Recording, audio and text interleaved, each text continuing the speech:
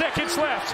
Perez floats it. Brown Turner for the tie. Got it to go with .3 remaining.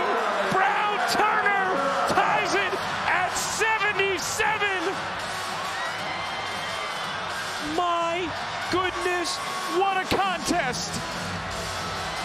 Connecticut does not have a timeout remaining. They spent that final one when Fudd and Edwards were trapped. The officials just confirming the three here. That's the stoppage. 6.1 is a lot of time. Flare screen by Cunane.